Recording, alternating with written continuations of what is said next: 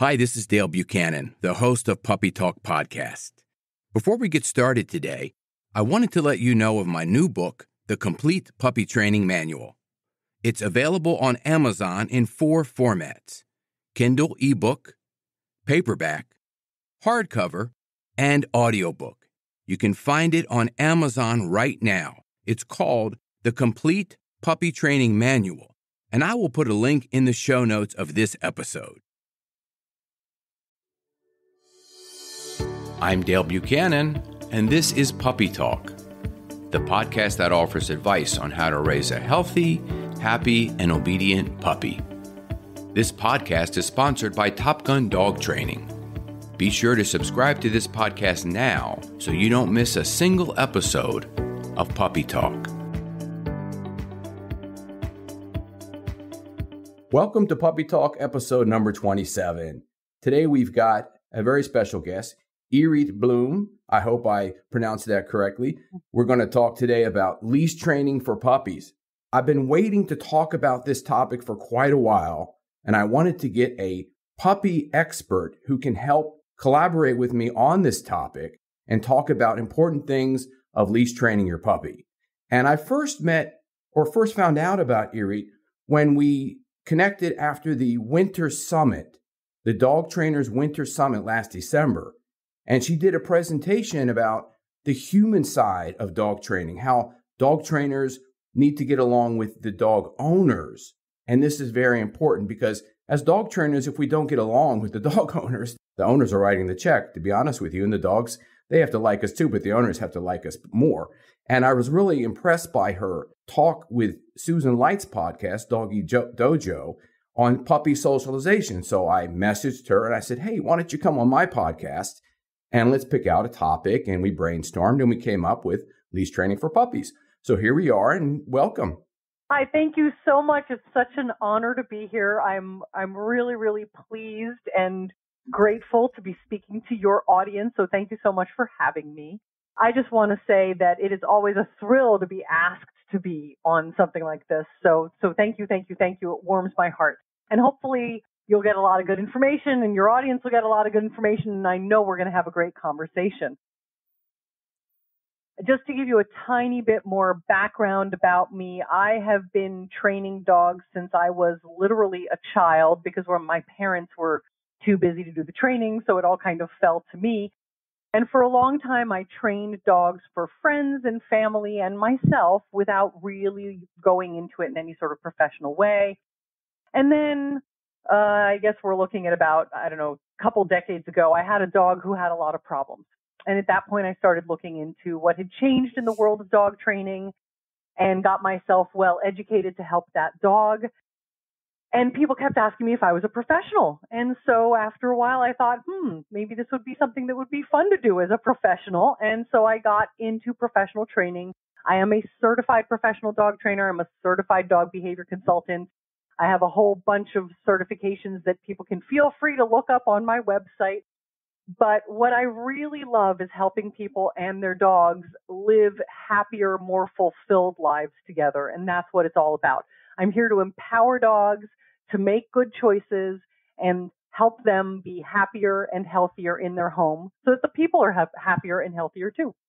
That's amazing because the mission of this show is to help owners raise a happy, healthy, obedient puppy. And you said two of those three things right there. And in addition, what is your website so everybody can look that up? Yeah, I should really have said that part. So it's the sophisticateddog.com.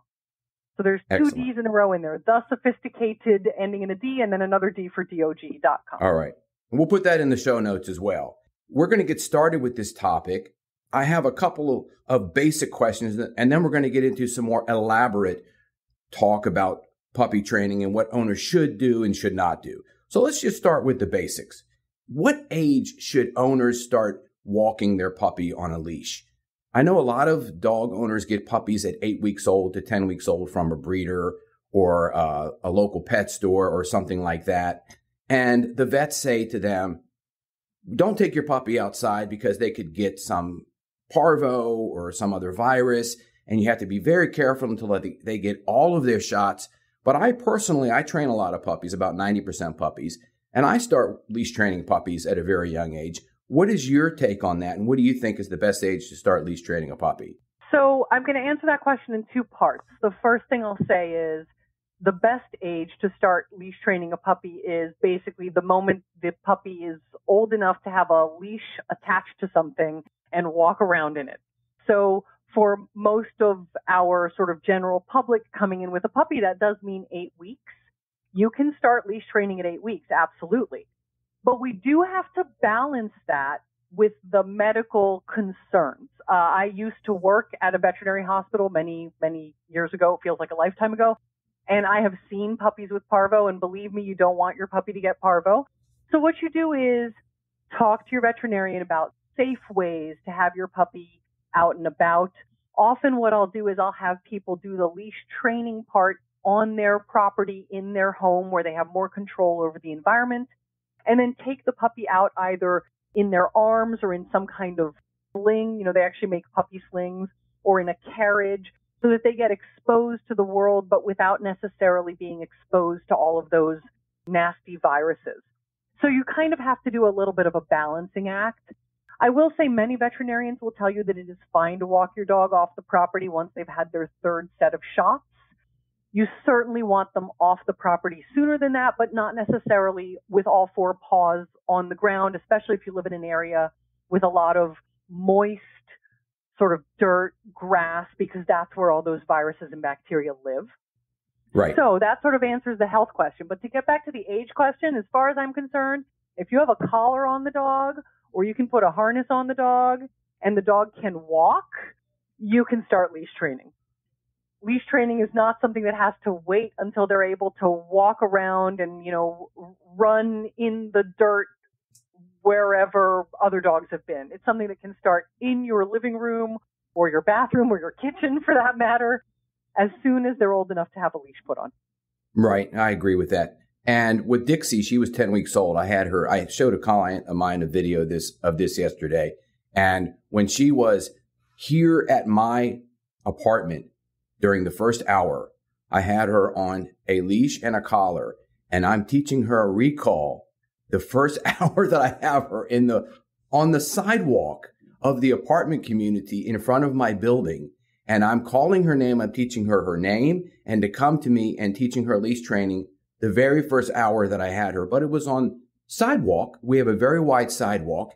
It wasn't on grass. It wasn't nothing that was going to harm her or compromise her medical health.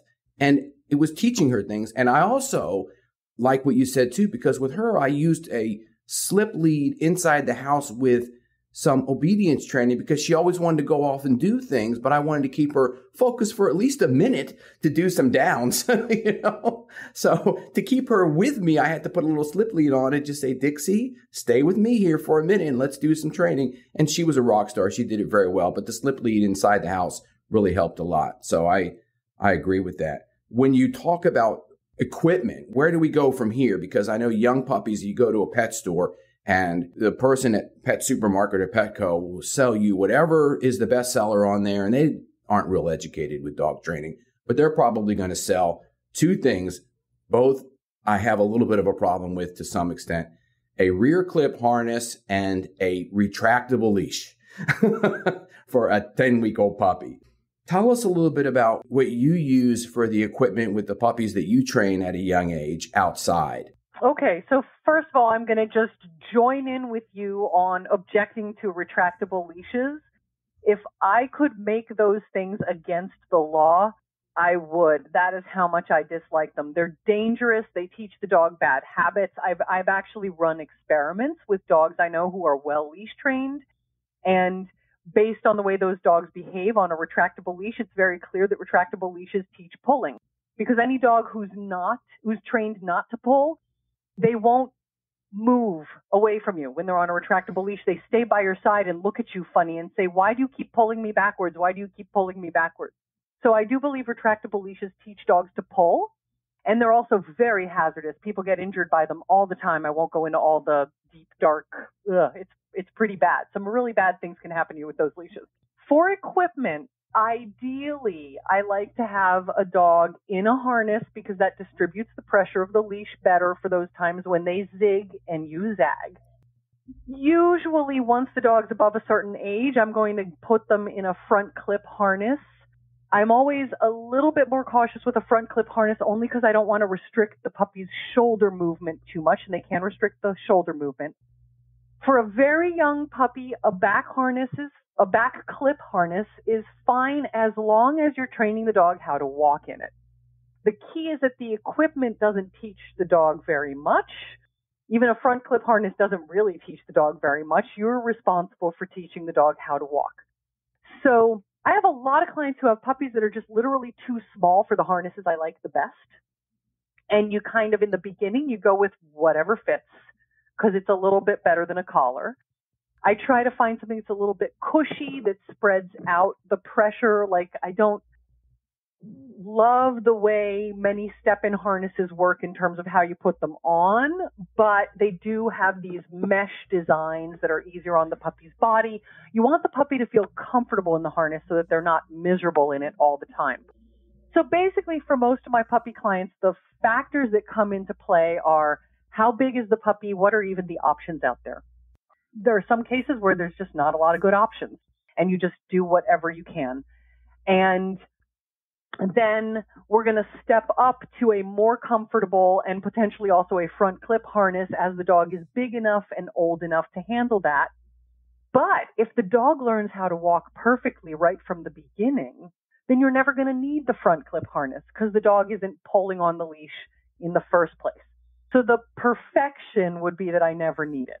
The reality is that I almost always need it because the world is exciting. So definitely a harness. I usually just use a six foot leash. It's a nice standard length. It's long enough to reach even short puppies on the ground without the person having to feel like they're sort of bending over. If you do attach the leash to a collar, you just have to be extra, extra careful that there's not a lot of pulling going on and then the other tip that I give clients is since puppies often like to bite the leash, one thing you can do is you can get a very lightweight chain leash. So I want to be absolutely clear here. I'm not talking about a chain collar, not a choke chain, not a prong collar. I'm talking about a leash that is made of chain links and has a handle at one end and a clip at the other. And that way, if the puppy does turn around, the leash just isn't a tempting thing to bite on. Where because they're not going to bite metal, right?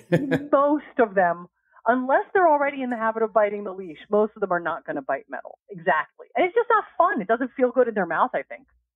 So instead of having your puppy learn to turn around and bite that piece of fabric that's waving in front of them, you just use a chain leash. But it has to be really lightweight because otherwise, puppies are so small, it literally weighs them down.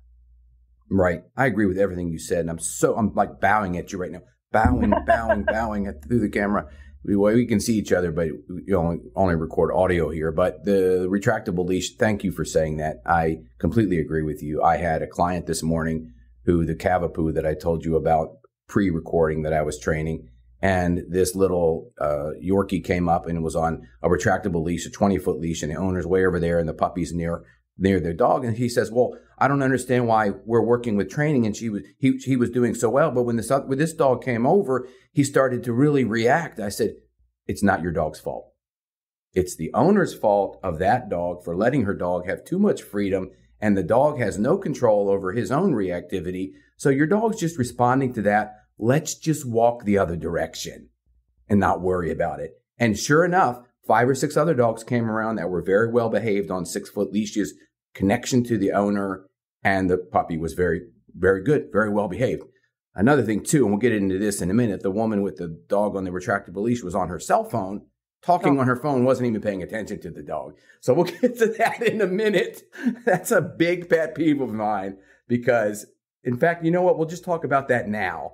Okay. Yes, because... I am. I am right there with you. That's one of my rules of dog walking that I teach everybody: is cell phone leave it home or turn it off and put it in your pocket. And I mean off, not on, on vibrate. I mean off, off. Unless you are a neurosurgeon or a heart surgeon and you might get called into the hospital at a moment's notice, you can give your puppy 20 minutes of your full attention. Why is that important? Explain that to the listeners.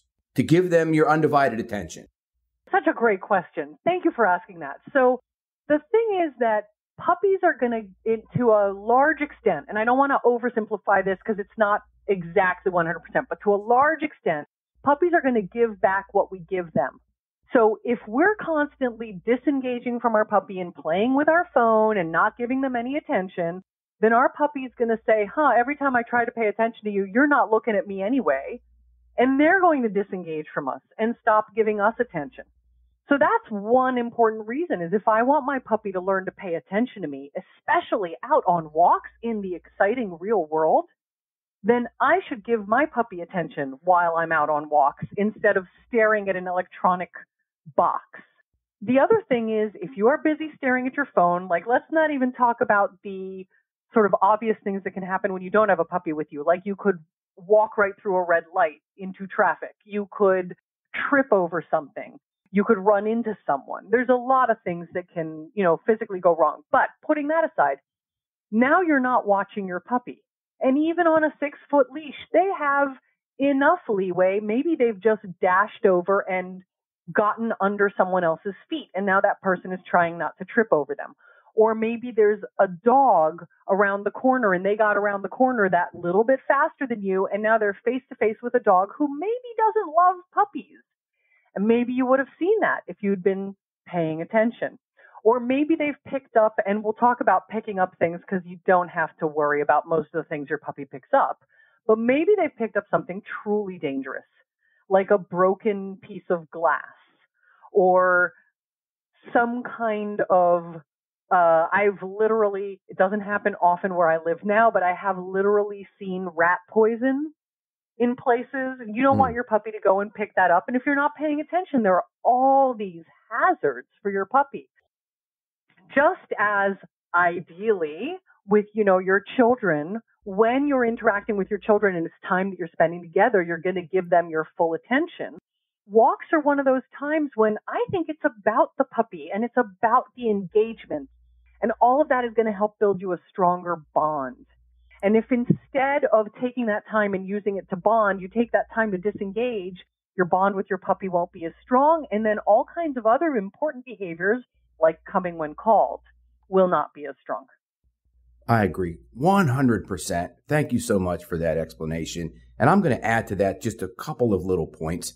My puppy was outside today and I got distracted and she did number two. And I thought, did you do number one? I wasn't paying attention. That one 15 second block, I wasn't paying attention. And I thought, I have to go train a dog. You have to go inside in your crate. You may, if you didn't pee since last night, I could be in trouble if I leave you in the crate. So I kept walking her around. And I, guess, well, Dixie, I guess you, I guess you went potty. I, it's my fault. I wasn't paying attention. That one thing there, when you're potty training a puppy, is disastrous if you're not knowing when they go pee, because a lot of puppies will go outside when they're very young and pee three or four times because they don't know how to empty their bladder and control their bladder yet at 12 weeks old, for example. And another thing, too, Dixie, my puppy, got Giardia nine times in five months from oh, other God. dogs' contaminated feces. So you don't want your puppy picking up any dog feces or getting their nose or mouth into it, and even on their paws. Because when it gets on their paws and they start licking their paws, they could get that parasite. And then you have to treat it with a dewormer. And it's just, I had to use a syringe to squirt that stuff in her mouth, and she hated it. And finally, she got over it. Her immune system was built up at nine months old, and she never got it again. And she's about 15 months old now. So I've been lucky, but I've been very strict with her. And I see people come out of my apartment complex and they come out of the elevator and they're on their phone the second they come out of the elevator. Their dogs are on their back leg. They have a flat collar. They're up on their front legs. They're barking and howling and crying, and the owner's still on their phone, not even caring. Now, how horrible that that bothers me, and I can't say anything to them. I could, but if I do, then I create conflict with my neighbors, and it's just like I want them to come to me and say, "Hey, your dog's really good. Can you teach me that?" Yes, number one, give me your phone. I'm putting exactly. it in my pocket, and then I'm going to give you a free sample of what we're going to do right now. That's what yeah. I would do. But very few of them actually ask me. A few of them do, and I have them as clients, but not many of them. And so that was a great discussion. Thank you so much for that. Yeah. When we are talking about puppy walks, I know with my clients, I have several different types of walks that I have with them, especially with Dixie, my own puppy. I might just go for a potty break, or I might do some leash training, or I might do some enrichment. What is your take on that? How many different types of walks should an owner have with their puppy so that their puppy can go outside and have some a variety of different things to do outside other than just go potty break and come back inside? Right, such a great question. So the first thing I'll say is with young puppies, don't think about walks as exercise. Young puppies still have developing joints and systems. I'm sorry, physical exercise. Let me clarify that. And you don't want to think, oh, I need to go out there and walk my dog for 45 minutes because she needs the exercise. Don't go down that path. Your eight week old, 12 week old puppy does not need a 45 minute march to meet her physical needs. In fact, it may make her sore and tired and do some damage to her potentially. So walks with a very young puppy especially need to go at the puppy's pace and they shouldn't be too long. And when your puppy starts getting tired, you turn around and you go home. And if she's already so tired that she can't pick herself up off the sidewalk, you pick her up and take her home. So I just want to make that point first that physically, young puppies, yeah, they have a ton of energy, but that ton of energy doesn't translate into let's go two miles walking at a 15 mile an hour, I mean, not 15 miles, sorry, 15 minute mile pace, which is a very fast walking pace, by the way. They're not going to benefit from that. So let's set that kind of walk aside. The other kinds of walks you can have are training walks, basically sort of sniffy enrichment walks. And I actually usually combine the two a little bit. So what I mean by a training walk is I've started teaching my puppy how to walk indoors, which I've usually done by a clip a leash on and if they're near me, they get a treat. And then I take a step and if they stay near me, they get another treat. And we just slowly build up from there. I usually start in a really small room. So it's easy for the puppy to stay near me. So bonus, they're being successful a lot. And then I spread that into larger and larger spaces and more and more exciting environments. So now I'm on a walk with my puppy and she's right there next to me. I'm going to hand her a treat. Bonus. Awesome. You're right next to me. And that part of the walk then is a little bit of training. She looks at me. I praise her. I hand her a treat. I take a few more steps. She's walking with me. She gets another treat. That's like a training walk. We're walking. The dog is giving me attention. The dog is keeping pace with me. And I'm going to reward that with treats and praise and anything else that the puppy enjoys. Like if the puppy really loves butt scritches, I'll give him butt scritches or whatever it happens to be. The other kind of walk is where you follow the puppy. So instead of the puppy paying attention and following you, you're still paying attention to each other, but now your job is to keep the leash loose. And the puppy says, Oh, wow, this is a really interesting tree right here. I want to sniff that. And you say, Okay. You stand around, you watch the puppy, you wonder what they're thinking about. Maybe you talk to them about it. I usually talk to them about it. And they sniff for a while and then they're like, okay, I'm done. And they move on to the next thing. And you go along with them to the next spot that they want to sniff. And then maybe they lie down in the grass and maybe they roll around a little and maybe they sort of contemplate the sky. I don't even know what they're thinking about. Often their noses are going. They're smelling something in the air. Just stand there, let them get over it, keep moving. And that's really good mental enrichment. And your puppy will be more tired from a training walk or an enrichment walk than from one of those crazy exercise walks where their body will be tired, but their brain will not. The other thing is what I usually do is I combine the two. So at the beginning of the walk, we do a little bit of training and then I'm like, okay, it's your walk now. And we go out and we do some sniffing. Now, if I want my puppy to potty and potty quickly for the times in my life when I might need the puppy to potty, what I do is I train the puppy that the first thing we do when we walk out is we stand still for a while until the puppy potties.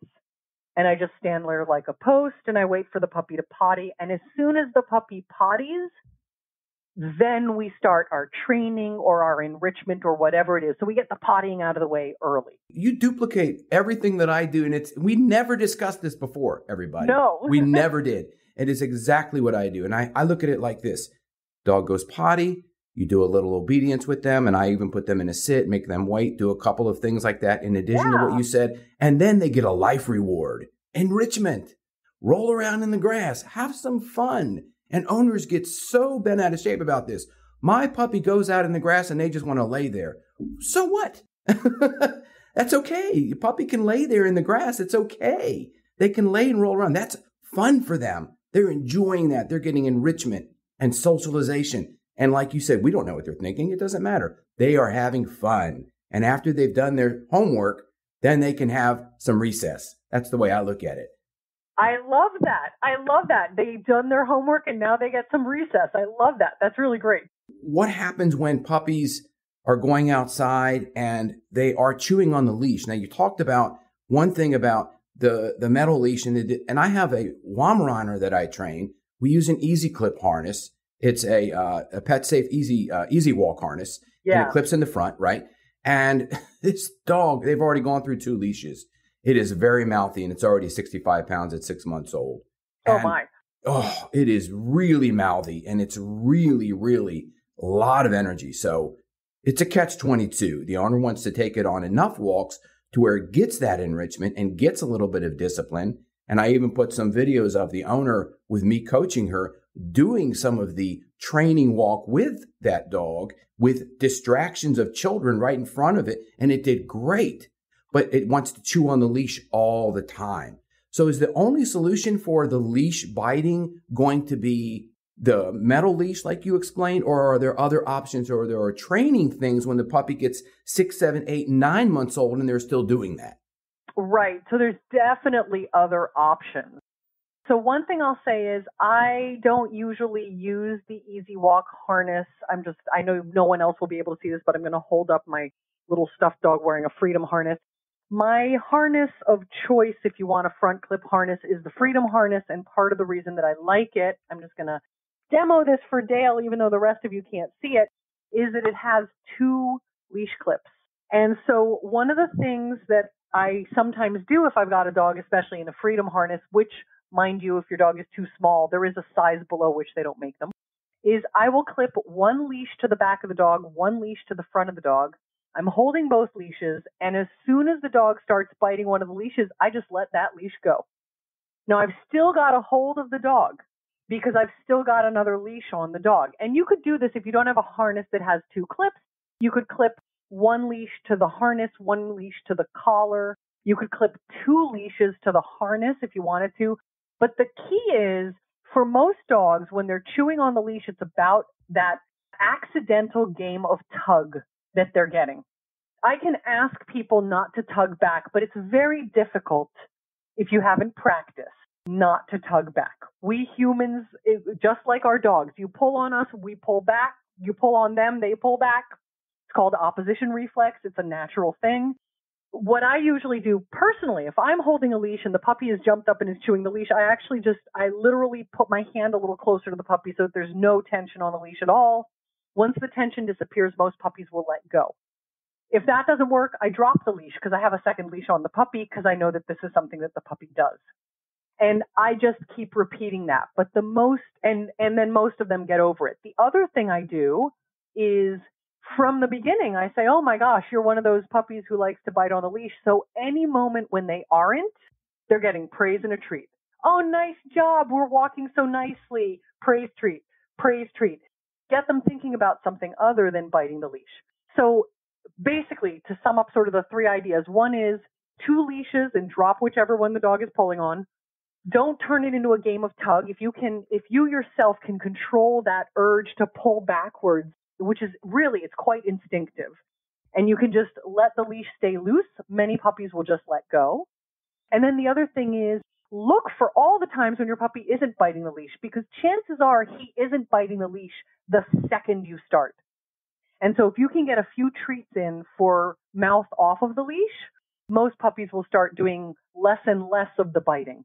And I've had some puppies that like just drop the habit entirely once they figure out that they can get a reinforcer for something else. Why does a leave it or drop it command, which has previously been taught inside the house for impulse control and frustration tolerance. Why does that not work at this point when they're biting on the leash? That's a really great question. And my main concern in that situation is that we're going to get a behavior chain going. Let's assume you say leave it or drop it, which depending on, to me, if you've already got the leash in your mouth, it's a drop it, but it doesn't matter, whichever word you prefer. And the dog lets go of the leash and you say, oh, good job dropping the leash and you hand them a treat. What have they just learned? They've learned if I grab the treat, then you will say drop it. Then I drop the leash, then I get a treat. So what I don't want to do is get in this loop where I'm actually teaching the dog to do the behavior I don't want because I'm rewarding that. Now, the right. other thing is, even to, to sort of address the larger question of the leave it and drop it, leave it and drop it in the house is usually a much less exciting situation. Right. And just like you might not be able to do calculus when there is a parade going by, I mean, if, if you do calculus at all, I'm the daughter of a mathematician, so I do calculus, but I'm not sure if I could do it with a parade going by. So when you're asking your dog to leave it or drop it out in the real world, that's like asking them to do it with a parade going by as opposed to in a quiet room. As with any other behavior inside, it's it can be an A or a B, but outside it automatically drops to a C or D because of distractions and stimulus. What else do you think is important when people start to leash train their puppies? Now let's go up into a little little older puppy. We talked a lot about 8 to 16 weeks. Let's go now 16 weeks They've had all their shots. They've had their rabies. They can go on grass. They can forage a little bit more. They're going to go reach into their adolescent age. Maybe they're nine months old. What do we do with a puppy at that point? Well, one thing is, and this is also true even for the babies, one thing is don't sweat the small stuff. And what I mean by that is your dog may pick up a leaf. Your dog may chew on a berry. We have ficus trees, fig trees everywhere where I live and they drop these berries and some of the dogs think they're really tasty. It is not worth arguing over every single thing your dog picks up unless you literally know it is highly, highly toxic. So those leaves they pick up, those sticks they pick up, those berries they pick up, usually if you just keep moving, they will drop them and move on. And if instead you're like, oh my gosh, you've got a stick. No, no, that's going to get caught in your throat. Something bad's going to happen leave it, leave it, drop it, drop it. I'm grabbing it out of the puppy's mouth. And now I've made a really big deal out of it. And now it's very valuable. And what many dogs learn is they're going to grab it out of my mouth, so I better swallow it before they take it away from me. And so then you're in, you're in even worse shape. So what I'll say is don't sweat the small stuff. Don't sweat the like, I want to stop and sniff here. Great. Sniff around. I picked something up. Great. We're just going to keep walking and you'll either carry it or you won't. But if you if you want your dog's walk to be some if you have some image of perfection in your head, your walks will be very annoying for both you and your puppy, especially your older puppy who at this point is in the teenage my brain is no longer really quite in gear. The clutch is slipping for those of you who drive a stick shift and I can't stay in gear for very long. When they're in that mode, you got to kind of say, you know, I got 15 feet of really nice walking out of you. Let's just let you sniff around and do whatever you want to do. But definitely be prepared to reward all that nice behavior with food or praise or a ball or whatever really jazzes your dog up. Remember that for most dogs, praise is not that exciting. So I usually go with food or a tug toy, something like that. Mm-hmm. And the other thing is as dogs hit adolescence, sometimes they get a little bit more cautious, I guess is a good word about things. And so just like when your puppy was a baby and you were trying to teach them everything is good, you look at something and you look maybe a little unsure. I'm going to comfort you and hand you a treat so that you see that it's not a problem. It's not a big deal. You can do the same thing with your older dog. So when you see that older puppy, I mean, when you see that like five month old puppy who's suddenly staring at another dog. What I do is I just talk to them about it. I'm like, oh, look, there's another dog. You are so smart to spot that other dog. Thank you for pointing that out to me. Would you like a treat? Okay, are you ready to move on? So again, it's sort of that don't sweat the small stuff. We're just going to say, oh, nice job. You noticed it. Have a treat and move on whether you're following them or whether they're following you, keeping the walk going will often really, really help with all of the little things like picking up random things or getting overexcited about this or that. Like you were talking about Dixie, you know, maybe meeting a dog and finding that, or no, it was a client's dog. Sorry, meeting a dog and maybe finding that a little too exciting and you just moved on. And then the next dog, the interaction was more positive and everything went better. It's just good to just keep the walk going at a relaxed pace, and most dogs will just let it slide off their back, so to speak, once they've moved away a little bit. Yeah, and it's important that you mentioned in there for the client not to get too excited and overstimulate the puppy at that point, because that's the most yeah. common thing that I see.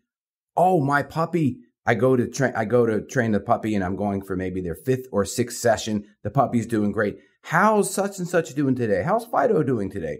Oh, well, not so good. Why? They picked up a leaf or a stick on the walk, and that's just so it's like, but look at all the 99 other things he does well. Like you said, it's just a leaf, nothing bad. It's just a stick. He chewed it up. He swallowed it. It's a little bit of fiber. It's not going to kill him. It's not going to hurt him. It's going to pass through. And what, and I always ask, what did you do when that happened? Oh, I was just telling him to drop it and telling him to leave it and telling him no and trying to get it out of his mouth. And then he got all excited. He started jumping on me. And then it was just, I had to just bring him back inside. It was just terrible. That's not the puppy. That's you. okay. So the puppy true. could care less. That's your, that's your responsibility right there for controlling yourself because we can over, and I talked about this in other episodes, ways that we overstimulate and overexcite our puppies by constantly talking to them in that way and touching them all the time and try we can't do that on a walk. We have to keep them focused on the walk or let them play and be very calm and relaxed. Be very nonchalant about it. Unless there's a dog off leash that's come running at you and you think this dog is a threat to your dog, then you have to react a little bit differently. But those situations are very, very few. Yes, we hope they're very rare. You mentioned something in passing there that I do want to touch on, which is the jumping up on you as you're walking, that is another good thing to just walk through. Like if you just kind of keep moving forward instead of no, no, down, down, or whatever. I, by the way, I hate it when people say down. This is just a pet peeve for get off of me because down to me means belly on the ground. So no, no, off, off, down, down, whatever they're saying, all of that is giving your puppy attention. And the jumping is usually about getting your attention they're a little overexcited. If you just kind of keep moving them forward, just just keep walking, they'll usually stop jumping and then once they're not jumping, you can be like, "Oh, hey, look what a fabulous puppy you are. Here, have a treat. You're such a good boy." Right. We're capturing that behavior and rewarding it at that time. Yes. And of course, as you just pointed out, I wouldn't necessarily say out loud what I just said. In my head, I'm thinking, hey, look what a great puppy you are. But my voice is saying, oh, you're being such a good boy. It's so important to capture those moments while you're walking. So important, much more than trying to command those mo- those sits and stays and waits and downs and all of that stuff and behave with a cue. Let the puppy do it himself. Classical conditioning and let them just stop the behavior, be calm, reward that. Then they're going to keep doing that more, right? Yes, absolutely. So, you know, whatever we practice is what we get good at for better or for worse. Whatever gets more reinforcement is what we get better at. So if you reinforce calm behavior, and I'm such, uh, anyone who's worked with me as a puppy client knows that I teach multiple different things for relaxation and controlling that sort of arousal excitement. So whatever you can do to teach your puppy calm is a good idea. And what that means is when you see that calm behavior, reinforce that calm behavior. And the more you reinforce it, the more your dog will practice it. And because they practice it, they'll get better at it. Yes, I like to do what I did this morning with my Cavapoo client. First session, we did the calming behavior on his bed, downstay. He waited for 30 seconds. I have this on video. And then we did that for 15 minutes. And then we went outside. And he was really, really good. And the owner said, he's never been this calm before. I said, well, we set him up for success because we did a little bit of training inside the house first. And then we took him outside with that mindset instead of overstimulating him and then taking him outside and him going outside already overstimulated and overexcited. He's going outside with a calm demeanor in the first place. And that worked right. out really, really good. Yeah, that's such a terrific way to do things. And sometimes, uh, if you know the listeners want sort of a specific, like what do you train specifically before you take the dog out? Work on your leash walking indoors. That's a nice specific thing to work on. Practice some sits and downs, and if your dog spins on cue, whatever they know how to do on cue, that's great. But then walk them around, get them in the rhythm of walking next to you for their treats. And then when you walk out the door, they're already in the rhythm. Such a great thing to train in advance of the walk. Such a great thing. This has been an amazing conversation, and an amazing topic for our listeners.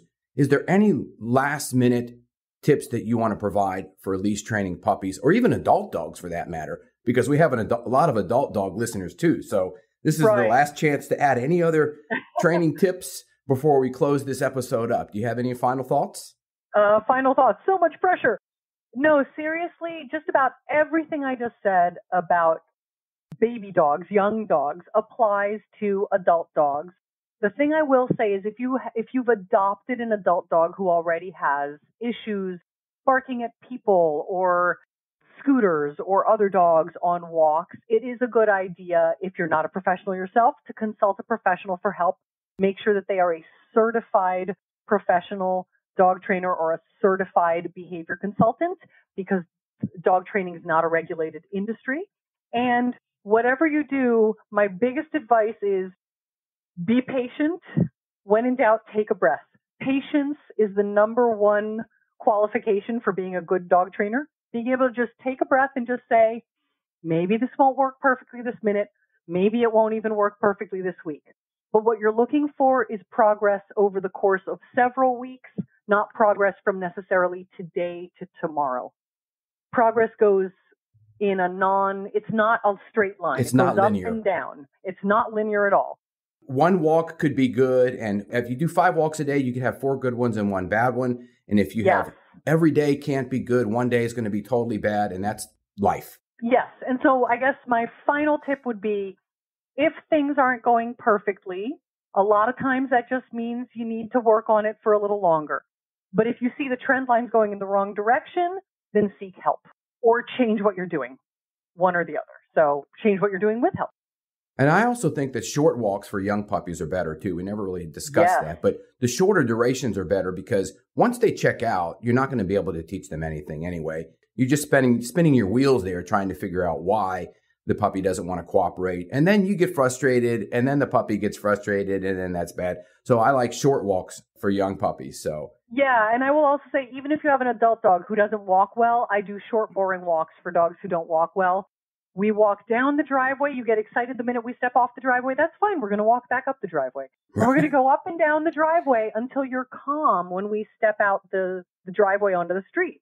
And right. then we walk one house and you get excited. That's fine. We'll walk back to the driveway, out to that house, back to the driveway, out to that house until you're calm there. And I just build the distance. Now I might walk for 20 minutes up and down the driveway, mm-hmm. but that distance will take more time. And with a young puppy, I would not walk 20 minutes up and down a driveway. That would be with an adult dog. One more question I have. I just thought of this from a neighbor of mine who's not my client. Young puppies running on pavement. Hmm. So I will, first of all, I just have to say this is not my area of expertise. Yeah, I pay a lot of attention though to physical health and well-being. 12 weeks and a lot of running on pavement is not a great idea. You want your young puppy running on soft surfaces and you want to make sure that your puppy can stop anytime. Because if something's hurting, they'll stop and they'll make sure that they don't make it hurt worse. But if you're forcing them to run, then they'll have to run through that pain and then you can do some real damage. But hard surfaces, not ideal, especially for a young puppy. And honestly, they're not great for your three year old dog either. You're better off if you can getting on trails, but walking on hard surfaces is okay, especially for an adult dog. And I think that's because young puppies is the joints from what I read. You know, it's our job to educate. That's what we're doing. I'm not a veterinarian. I'm not an expert in puppy growth and physiology and things like that. And what I'll say is, in general, I also defer to the veterinarian on this. I will say, is my dog old enough to go running with me? And veterinarians know the answer to that. So let's tell the listeners again how to find you. So the best way to reach me is through my website, which is thesophisticateddog.com. I also have a fairly active Facebook page, which is facebook.com slash the sophisticated dog. And you can find me on LinkedIn using my name, which is Irith, spelled I-R-I-T-H, Bloom, B-L-O-O-M. And I am fairly active on LinkedIn as well. For those of you with puppies, I do have a Facebook page dedicated to puppies where it's me and three other trainers who uh, we we sort of time share so that everyone always has someone answering their questions. It's called Puppy Help Hotline. So if you just search Facebook Puppy Help Hotline, you will find your way there. We would love to have you join us. That is awesome. And when I get this episode edited and live, I'll send you a link and maybe you could post a link on there for all of your people on there to listen to because I think we provided yes. some amazing information in this episode. Absolutely. Absolutely. I will be sharing this. I want to thank you so much for coming on the show, and we're going to stay in touch. I want to have you back on the show again sometime in the future. We'll come up with some more topics to talk about because this one was so great. I'm going to close off this episode number 27 of Puppy Talk. Thank you, everybody, for listening, and have a great day. This is Dale Buchanan, host of Puppy Talk Podcast. I have an announcement of a new book that I just published called Potty Training Your Puppy. It's available on Amazon in Kindle and paperback, soon to be available on audiobook. You can find out all the details of this book using the link in the show notes. It's called Potty Training Your Puppy. It's a comprehensive book with a simple and effective way to help potty train your puppy, and it really works. Check out the link in the show notes.